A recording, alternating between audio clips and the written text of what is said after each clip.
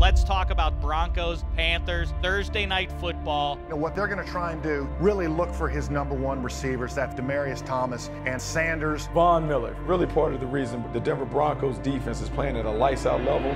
The stadium is going to give us an edge when it's an obvious third down situation. You know, the scary thought is the Broncos pass rush could be better than it was during the Super Bowl, and I'll give you the couple reasons why. One particular, DeMarcus Ware is much healthier than he was. Make a quarterback have to throw a perfect ball. You make a receiver have to make the perfect catch, and that's what Denver does. The Broncos have always seemed to thrive off the underdog role, especially our defense. Everybody in this town is excited, including the Denver Broncos.